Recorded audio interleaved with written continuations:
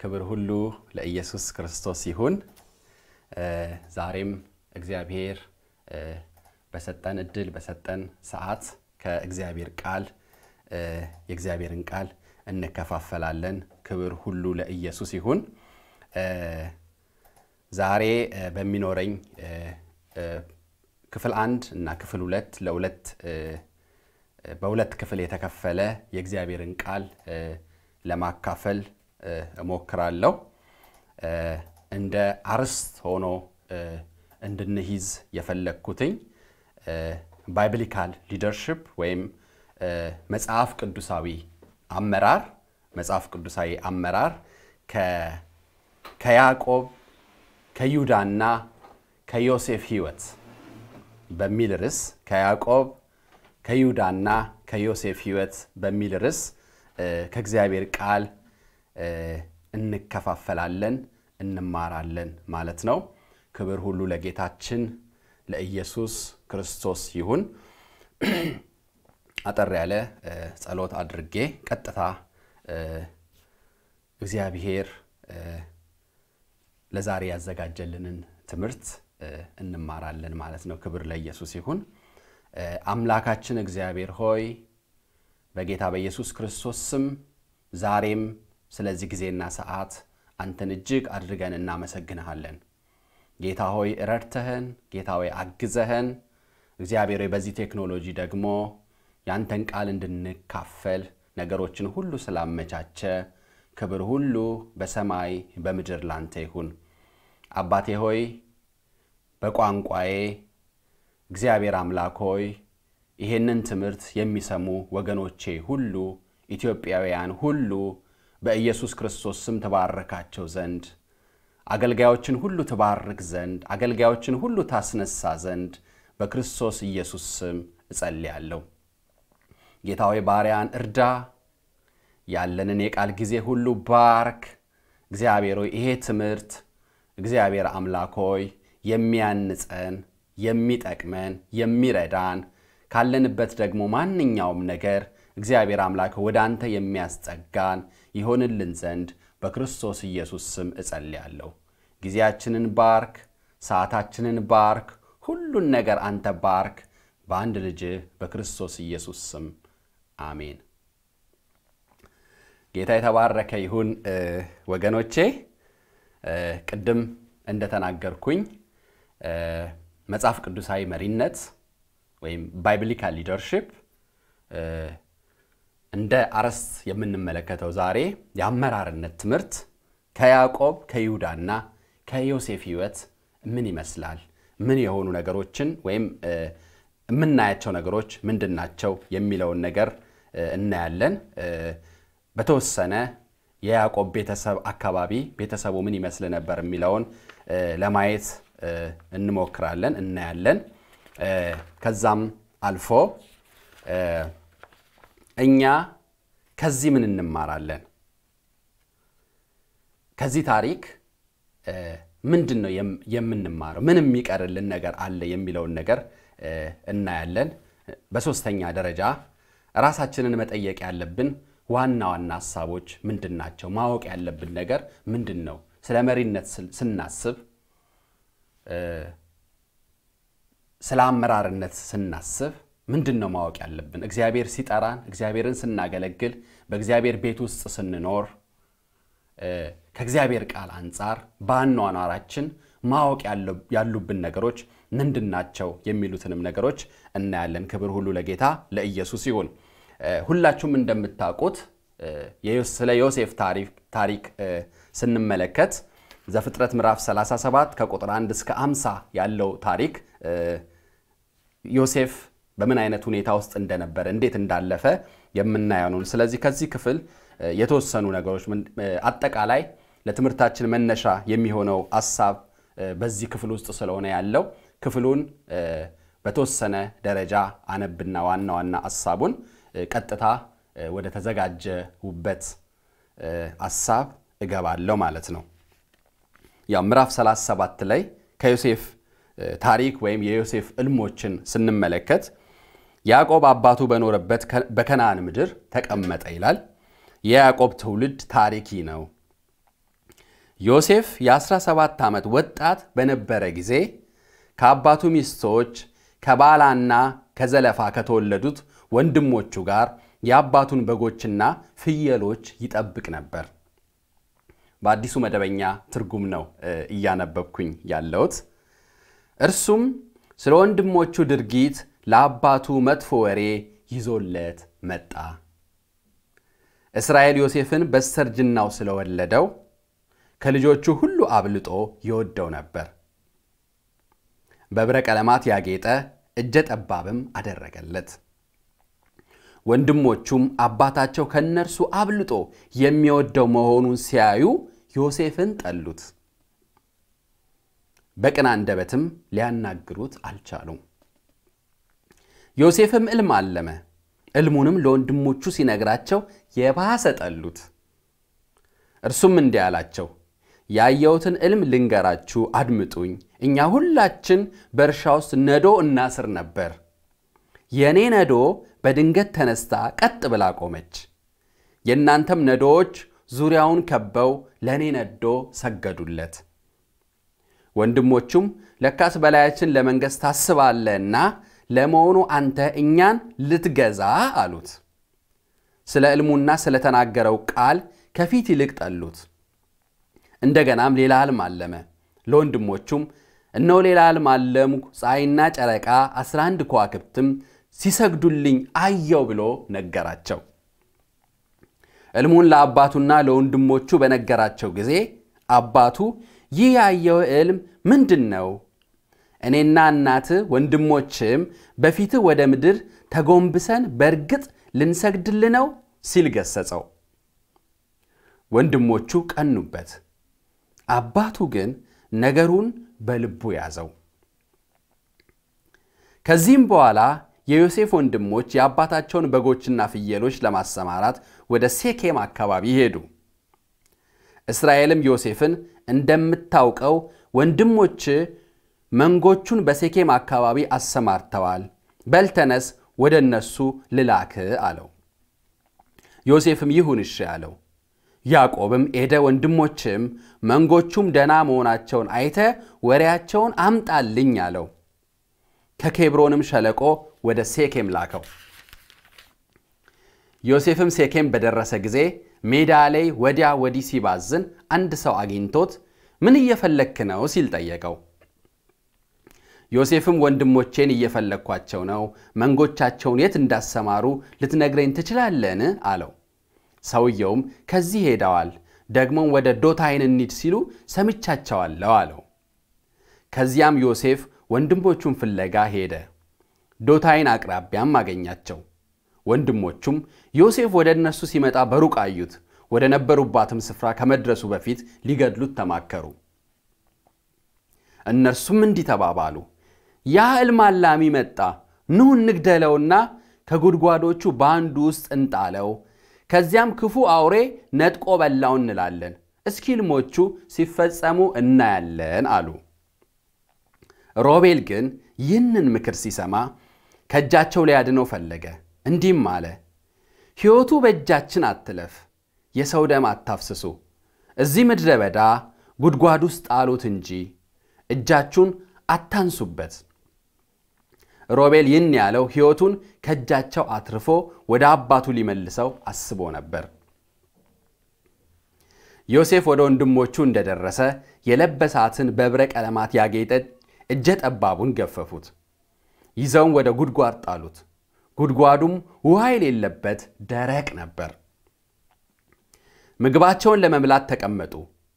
አሻግረው ሲመለከቱም ከገላድ የሚመጡ እስማኤላውያን ነጋዴዎች የግመል ጓዝ አዩ። ነጋዴዎቹ ሽቶ፣ በለሳን፣ ከርቤ በግመሎቻቸው ጭነው ወደ ግብፅ የሚወርዱ ነበሩ። ይሁዳም ወንድሞቹን እንዲህ አላቸው፣ ወንድማችንን መግደልና አሟሟቱን መደበቅ ምን ይጠቅመናል? ከዚህ ይልቅ ለእስማኤላውያን ነጋዴዎች እንሽጠው፣ እጃችንን ግን በእርሱ ላይ አናንሳ።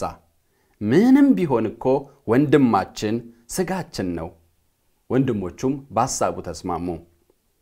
የምድያም ነጋዴዎችም እነርሱ ዘንድ እንደደረሱ ወንድሞቹ ዮሴፍን ከጉድጓድ አውጥተው ለእስማኤላውያን በሀያ ጥሬ ብር ሸጡላቸው። እነርሱም ዮሴፍን ወደ ግብፅ ወሰዱት። ሮቤል ወደ ጉድጓዱ ተመልሶ ሲያይ ዮሴፍን በማጣቱ ልብሱን በሐዘን ቀደደ። ወደ ወንድሞቹም ተመልሶ ብላቴናው ጉድጓድ ውስጥ የለም፣ የት አባቴ ልሂድ አለ። ከዚያም የዮሴፍን እጀ ጠባብ ወሰዱ። አንድ ፍየልም አርደው እጀ ጠባቡን በደሙ ነከሩት። በብረ ቀለማት ያጌጠችውን እጀ ጠባብ ወደ አባታቸው ወስደው ይህን ወድቆ አገኘ ነው የልጅህ እጀ ጠባብ መሆን አለመሆኑን እስቲ የው አሉት። እርሱም ልብሱን አውቆት ይህማ የልጄ እጀ ጠባብ ነው፣ ክፉ አውሬ በልቶታል፣ በእርግጥም ዮሴፍ ተበጫጭቀዋል አለ። ከዚያ በኋላ ያዕቆብ ልብሱን ቀደደ፣ ማቅም ለብሶ ስለ ልጁ ብዙ ቀን አለቀሰ። ወንዶችና ሴቶች ልጆቹም ሁሉ ሊያጽናኑት መጡ። እርሱ ግን ሊጽናና ባለመቻሉ በሐዘን እንደ ተኮራመትኩ ልጄ ወዳለበት መቃብር እወርዳለሁ አለ። ስለ ልጁም አለቀሰ። በዚያ ጊዜ የምድያም ነጋዴዎች ዮሴፍን ወደ ግብፅ ወስደው ከፈርዖን ሹማምንት አንዱ ለነበረው ለዘበኞች አለቃ ለጴጢፋራ ሸጡት ይላል። ክብር ሁሉ ለኢየሱስ ይሁን።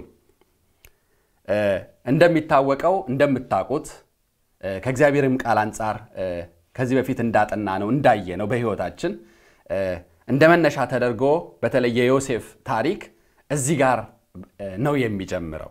ምዕራፍ 37 ዮሴፍ ምን እንደሆነበት ከወንድሞቹ ምን እንደደረሰበት ከዚህ ክፍል እንመለከታለን። ከዚህ ተነስቶ ሌሎቹንም ክፍሎች ሁሉ እስከ ምዕራፍ 39 ድረስ በምንሄድበት ጊዜ የዮሴፍ ታሪክ እየተብራራ ምን እያለ ይሄዳል። አርባ አርባ አንድ አጠቃላይ ከዮሴፍ ታሪክ አንጻር ብዙ የምንማራቸው ነገሮች አሉ። የዮሴፍን ታሪክ ስንመለከት መጽሐፍ ቅዱስ ውስጥ ካሉ ታሪኮች በጣም እጅግ መሳጭ የሆነ እጅግ አስተማሪ የሆነ ብዙ ነገር በውስጡ የተካተተበት ብዙ አስተማሪ ቁም ነገሮችን በውስጡ የያዘ የመጽሐፍ ቅዱስ ክፍል ነው የዮሴፍ ታሪክ።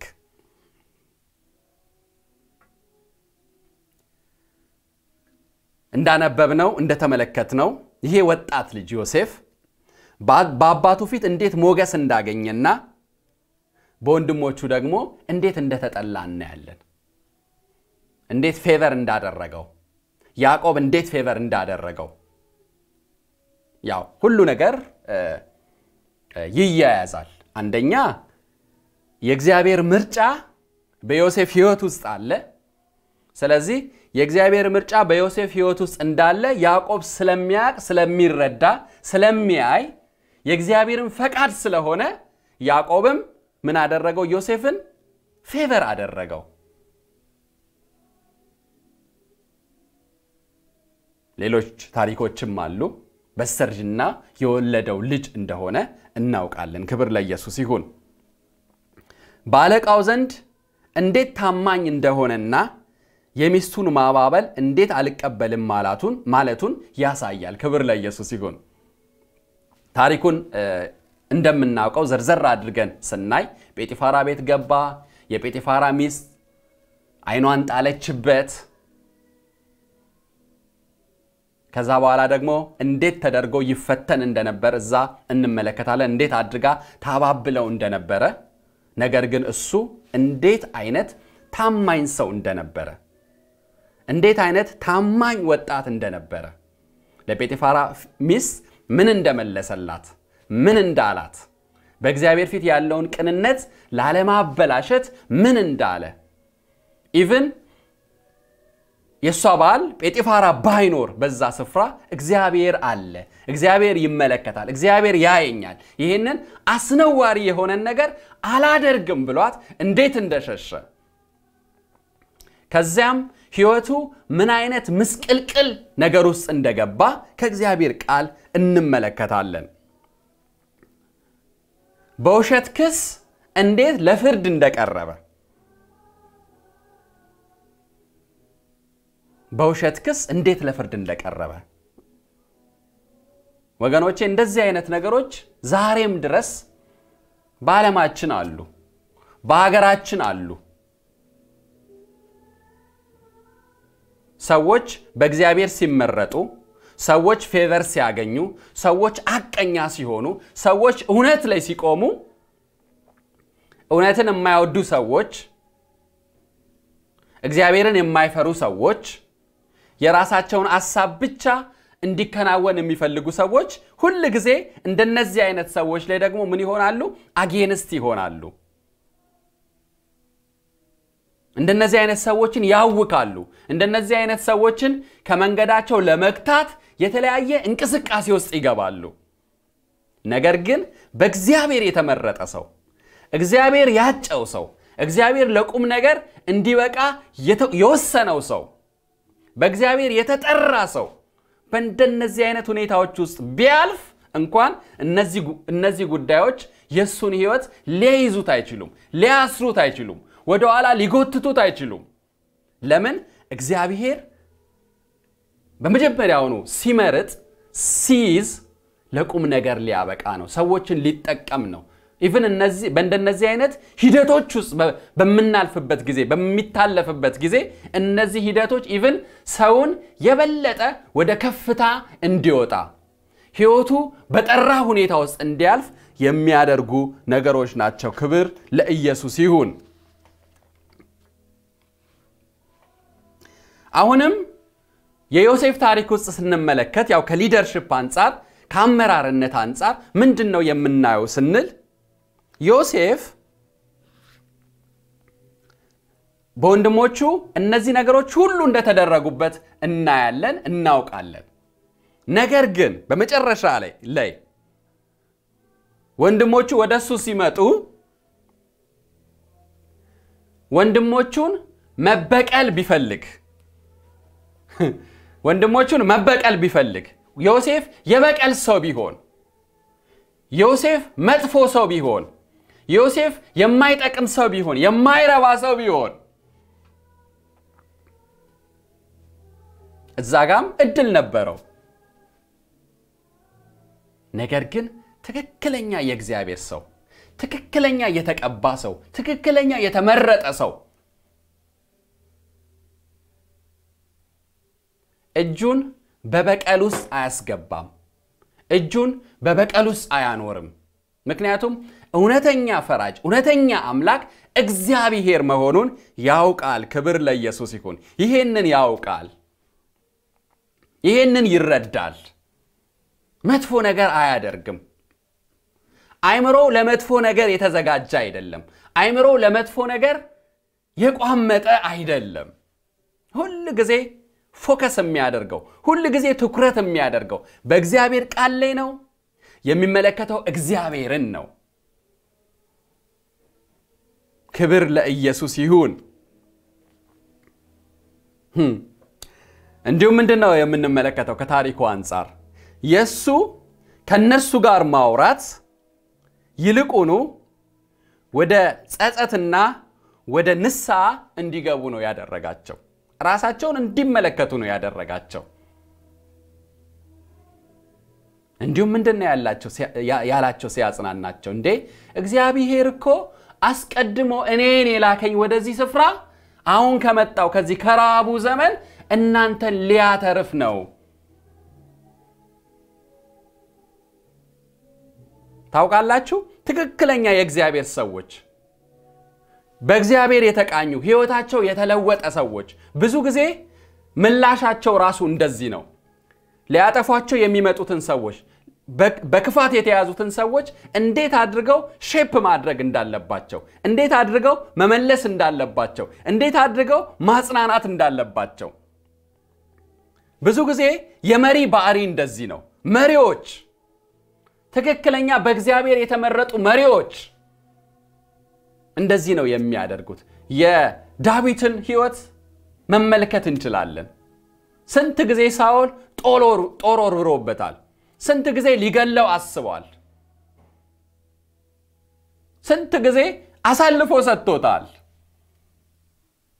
ዳዊት ምንድን ነው ያለው? እግዚአብሔር በቀባው ሰው ላይ እጄን አላነሳም። እግዚአብሔር በቀባው ሰው ላይ እግዚአብሔር በመረጠው ሰው ላይ ለምን ብዬ እንዴት ብዬ ራሴን ወደ ኃጢአት ውስጥ አልከትም? ራሴን ወደ ኃጢአት ውስጥ አላስገባም? ለምን? በቀል ምንጊዜ መጥፎ ነው፣ ትክክል አይደለም። እውነተኛ ፈራጅ እግዚአብሔር ነው። የቅን ፈራጅ እግዚአብሔር ነው። ክብር ለኢየሱስ ይሁን። ስለዚህ ምንድነው የዮሴፍ ታሪክ ስንመለከት even ራሳቸውን ወደ ጸጸት ውስጥ እንዲከቱ አደረጋቸው። ምንም እንዳልተደረገ እሱ አወቃቸው። ምንም እንዳልተደረገ ምንም እንዳልሆነ አደረገ። ክብር ለኢየሱስ ይሁን። በዚህ ታሪክ ውስጥ በምንመለከትበት ጊዜ አጠቃላይ ኢቭን እኔም ባነበብኩት ታሪክ አጠቃላይ በዮሴፍ ታሪክ ውስጥ ስንመለከት እግዚአብሔር ሰዎችን ሲመርጥ እግዚአብሔር ለሆነ ዓላማ ሲፈልገን እንዴት አድርጎ እያንዳንዱ እስቴፓችንን እያንዳንዱን ደረጃችን እንዴት አድርጎ በምን ውስጥ እንደሚያሳልፈን እንደምናልፍ እግዚአብሔር ከዚህ ታሪክ ውስጥ እንመለከታለን። እንዴት አድርጎ ልጆቹን እንደሚመራ፣ እንዴት አድርጎ በፕሮሰስ ውስጥ እንደሚያሳልፈን። በተለይ ዮሴፍን እንመልከት። በግብፅ ውስጥ እዛ ትልቅ level ውስጥ ከመድረሱ በፊት ያለፈበት process በጣም የሚገርም ነው። ከጴጢፋራ ቤት ጀምሮ life ኡን ስንመለከት በርካታ up and down ኦች አሉበት። ክብር ለኢየሱስ ይሁን። በርካታ up and down ኦች አሉበት። ከፍታዎች አሉበት፣ ዝቅታዎች አሉበት። በእስር ቤት ውስጥ የነበረውን ቆይታ መመልከት እንችላለን። የነበረበትን የሐሰት ክስ መመልከት እንችላለን። ቅድም እንዳልኩት ይሄ ነገር የሰው በቃ አሁንም የምንመለከተው ነገር ነው። በዓለም ዙሪያ አሁንም የምንመለከተው ነገር ነው። leadership ውስጥ ያለውን competition እናያለን፣ ያለውን conflict እናያለን። ምክንያቱም ያኔም የነበረው የጠላት አሰራር፣ ያኔም በምድር ላይ የተጣለው ዲያብሎስ፣ ሰይጣን፣ ክፉ በጥሩ ሰዎች ውስጥ ሲሆን ጥሩ ሰዎችን የእግዚአብሔር መንፈስ ወደ መልካም ነገር ይመራቸዋል። በአጋንንት እስራት ውስጥ ያሉ አጋንንት የተቆጣጠራቸው ሰዎች ደግሞ ሁል ጊዜ ምን እያደረጉ ነው የሚሄዱት? negative የሆነ ነገር፣ መጥፎ የሆነ ነገር፣ ክፉ የሆነ ነገር እያደረጉ በቤተሰብ መሃል ጠብ እየዘሩ በቤተ ክርስቲያን መሃል ጠብ እየዘሩ በሀገር በ leadership ውስጥ በመሪነት ውስጥ ጠብ እየዘሩ